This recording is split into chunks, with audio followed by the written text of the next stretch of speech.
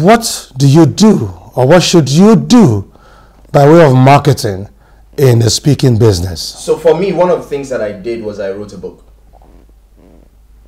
Because when you are an author, you are seen as an authority. When you're an author, you're seen as an authority. Absolutely. Wow. Yeah. So the first thing you did when you thought about marketing widely right. is to be an author. That's right. What about those who don't have proficiency for writing? Read. So if you cannot write, you can speak, Vocalize it. do audio and Vocalize it. or Vocalize it. video, Vocalize it. and then push it out. Absolutely. Look for channels where you can push yep. it out. So, so in vocalizing it, it then gets recorded. The recording can be transcribed, and the transcription can be edited, and the editing can then form a book, and that book becomes your best business card. And let me also chip in because some people like things broken down Mm-hmm. to its most simplest basis. Okay.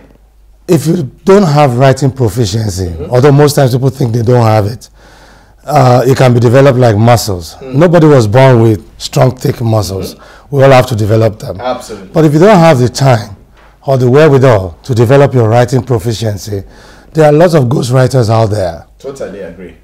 Record your message, give it to them, and they will turn it into a book for you. Absolutely. I just felt I should drop that in the So box. so important because again, you you can't do everything by yourself. You can't. You You, can't can't. do everything by yourself. Totally agree. And you can always get, if you search and look, as a matter of fact, if you put your mind to it, the universe will attract Totally those who are going to do it for you. Absolutely. But if you cannot write, if writing is not your thing, Mm-hmm. then you can do DVDs. Absolutely. Vocalize it, do an audio book, and uh, to be able to do an audio work, have an interview, a conversation. When you Oh. ask quality questions, you get quality answers. True. And you can do vlogs, you can do podcasts, and you can have a YouTube channel where you push your message to the world. Totally. Or you can seek a television channel such as ours, Yep. where you can push your ideas to the world. And that becomes your signature. Um, and that becomes your authority totem. When you're an author, you are become seeing, you become an, you become an authority. And an author does not mean just writing a book alone. Mm-hmm. It could also be an author who has a CD or a DVD out there. Yeah. I've deduced from you now that looking for platforms or fora where you can speak is also a marketing tool. Your online platforms are marketing tools. Yes. Your branding effort and packaging are marketing tools. Your associations are marketing tools. Um, you can also recognize if you if you want to that your place of domicile can be a marketing tool. Yep. Um, one of my role models in this business, uh, Richie, Richmond Johnson, once told me that your address is also a marketing tool. Where is your office located? Right. Where can we find you? Right. And people ask, he told me one day, said people will say, Who is his wife? I said, That far? He said, Yes, that far, but that close. People see your children and it becomes a marketing tool for you. Mm.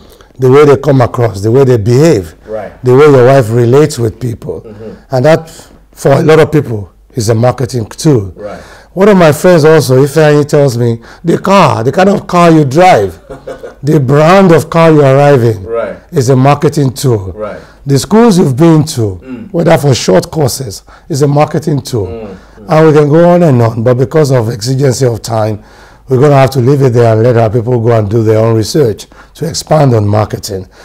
I'm a speaker, I'm a professional speaker. How do I sell my expertise? So first off, you need to realize that you, being the brand, you're a walking message system. Wow. And so you need to find the platforms. How do you find the platforms? You create the platforms. So for example, there are social media channels and platforms that you can use to communicate what you are passionate about. Or find something in your society or, or place of residence or, or, or continent to pick on and, and unpack the value that are in those challenges. People will then see you as more or less an authority or a thought leader